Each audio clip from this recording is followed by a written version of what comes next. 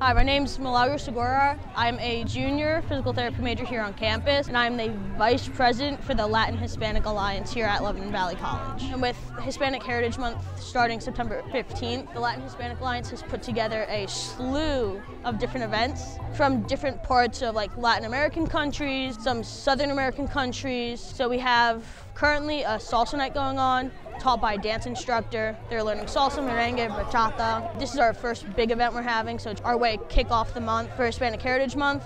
I really like getting in touch with my Costa Rican heritage because not a lot of people around this area are Costa Rican, know much about Costa Rica. So I like showing that part of like my culture and traditions. I'm trying to build that community around here because I know how important it is for like me and a couple other students on campus that I'm friends with that are Hispanic or Latin, want to be in touch with their culture even if they're just learning about it. It's really nice because then you can see them growing and like starting to embrace another part of themselves that they really didn't think about before coming here and being able to share that with other people who might not know about any of these cultures and that's like my favorite part about it all.